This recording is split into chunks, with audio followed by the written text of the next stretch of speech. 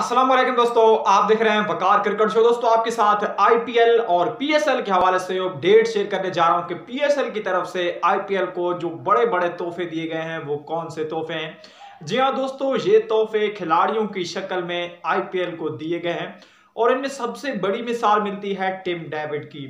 Tim David जब PSL में आए तो पीएसएल में मशहूर हुए और इस साल तो उन्होंने तबाह कुन इनिंग्स खेली थी।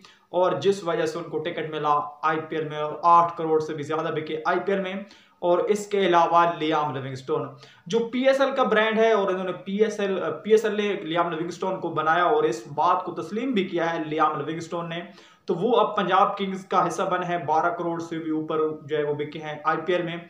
इसके अलावा अब जिम्बाब्वे के ब्लैसिंग मुजरबानी जो है वो भी पीएसएल में आके मशहूर हुए और अब खेलेंगे वो आईपीएल इसके अलावा जैसन रॉय ने पीएसएल में परफॉर्म किया और फिर वो आईपीएल में सिलेक्ट हुए थे। इस सीज़न के लिए भी लेकिन उन्होंने।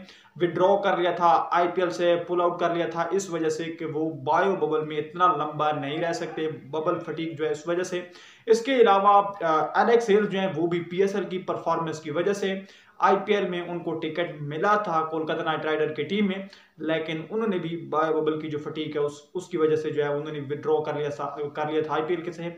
लेकिन वो भी पीएसएल की वजह से आईपीएल में शामिल हुए थे। इसके अलावा रहमान गुरबाज जी हाँ अफ़गानिस्तान के ओपनिंग बल्लेबाज इस्लामाबाद यूनाइटेड की टीम का इस बार हिस्सा थे। तो वो भी जो है आईपीएल में पीएसएल की परफॉर्मेंस की बेस के ऊपर शामिल हुए और बहुत ही ज़बरदस्त किस्म का टैलेंट है अफ़गानिस्तान का रहमान गुरबाज इसके अलावा दोस्तों, अफ़गानिस्तान के ही नूर अहमद जो है, वो भी पीएसएल में उन्होंने पहले परफॉर्म किया।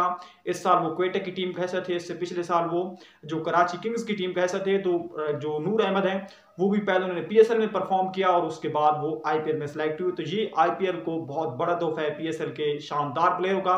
अगर आपको अपडेट चलेगा तो लाइक ज़रूर कर चैनल को सब्सक्राइब नहीं किया तो सब्सक्राइब प्लीज़ कर देना।